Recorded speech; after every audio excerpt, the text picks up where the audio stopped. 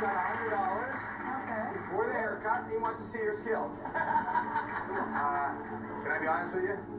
You don't look like you need a haircut. Yeah, you don't really need a haircut. You don't need a haircut. How is she going to show her skills?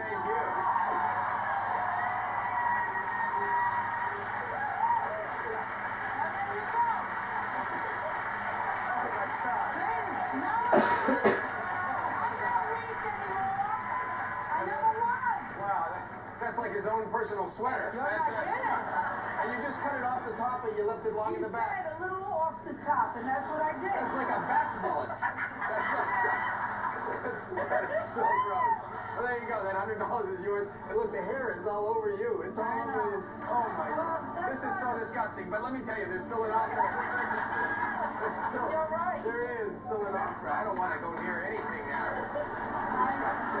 Okay. Okay. The, the cash offer did drop a little bit.